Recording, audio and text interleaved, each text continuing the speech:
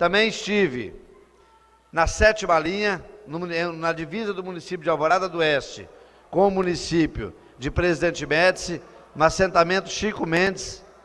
na, na, na Agrovila, na associação lá, liderada pelo Josias, que é o presidente, e pela vereadora Todinha, onde entregamos um veículo SPIN para aquela comunidade, um veículo SPIN de sete lugares, fruto de uma emenda parlamentar de nossa autoria, no valor de 75 mil reais, aonde vai ser de bom uso para aquela associação. Já entregamos ali recentemente uma panificadora,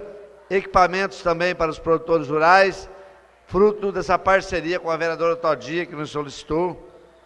Vereador, Todinha, que tem um trabalho excelente naquela região, no município de Presidente Médici, e agora entregamos